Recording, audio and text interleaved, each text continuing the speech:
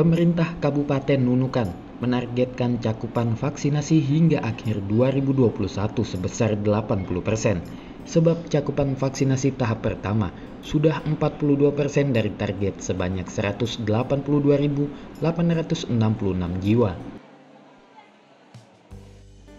Bupati Nunukan Asmin Laura Hafid menyampaikan, Vaksinasi terus dilakukan Pemkap Nunukan bersama TNI Polri. Itu dilakukan untuk memenuhi target cakupan vaksinasi hingga Desember mendatang. Dijelaskannya, upaya vaksinasi untuk warga yang berada di pedalaman sedang diupayakan, di mana vaksin jenis Johnson Johnson yang diberikan hanya sekali suntik sehingga memudahkan proses vaksinasi. Di samping juga kita mempersiapkan untuk di wilayah-wilayah pedalaman kemarin dari Kemenkes kan menawarkan kita yang vaksin uh, satu satu kali dosis aja yang Johnson itu. Itu sudah kita minta juga tinggal menunggu uh, dari apa dari Kemenkes untuk kirim Sementara itu, Kapolres Nunukan AKBP Saiful Anwar menambahkan, vaksinasi yang dilakukan Polri terus berlanjut.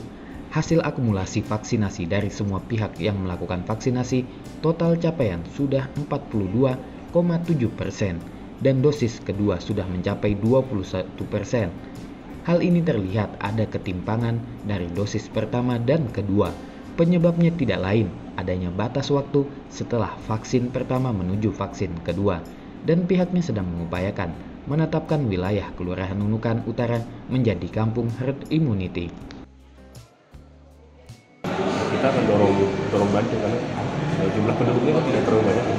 Pertimbangannya Nunukan Utara dan kalau bupati sih karena jumlah penduduk kan tidak terlalu banyak oh, gitu.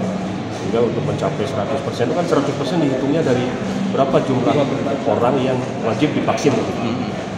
kan dia kalau salah 70 atau 80% dari jumlah penduduknya Astrullah melaporkan